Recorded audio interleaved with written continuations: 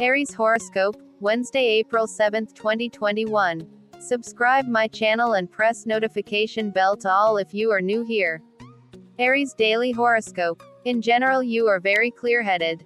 But today, your ability to think logically will be hindered by your own problems and insecurities.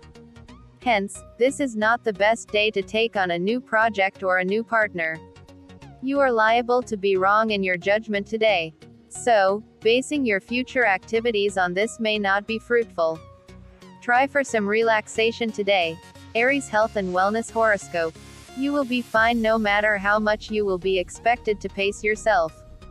However, a good mood can boost your tackling ability very well and will give you a renewed sense of vitality. However, you may catch cold or a similar infection which will not last for long but will be a cause of concern. Just be aware of what you touch and wash your hands as much as you can. Aries Daily Love and Relationship Horoscope. Nobody is perfect. If the world seems at peace, there is no logic to try a new door when you are contented with the first one. There is no end to desires. But understand that if only you are stable in your relation, you will be able to channelize your energy for a better tomorrow. Do not hurt others. Practice meditation. Aries career and money horoscope. The day is best suited for speculative ventures. Buy a lottery ticket or invest in stocks and share today and you have a high chance of hitting the jackpot. You may also get a good tip from someone and if you act timely on it, you can significantly increase your income. You will enjoy a calm and peaceful day at work. As an Aries, you're here to learn how to invest in yourself. It takes courage and tireless faith to get to that point, but you're already well on your way.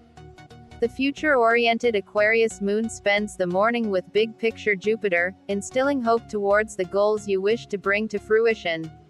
Later, the moon dips into ethereal Pisces, pulling you into a more with Doctoron, emotional headspace.